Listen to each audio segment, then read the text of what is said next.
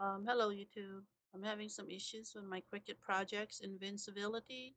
I don't know if you guys are going having the same issues, but my issue is I don't want to share my projects online to have for everyone to just have access to it.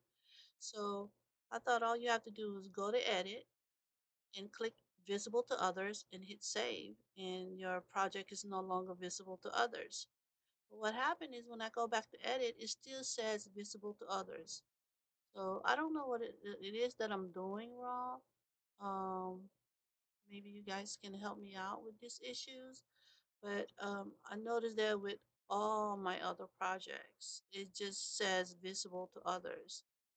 So to share your project on Facebook, Pinterest, you need a photo, title, blah blah, the project cover also. Uh, but for some reason, my my um visible to others just doesn't stay.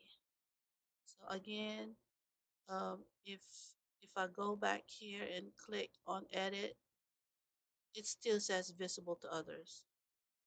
Can somebody tell me what I'm doing wrong?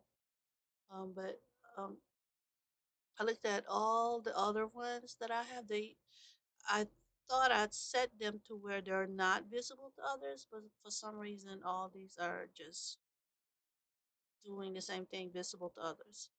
So if you guys have any comment on how I can rectify that issue, please leave me a comment below. Thank you.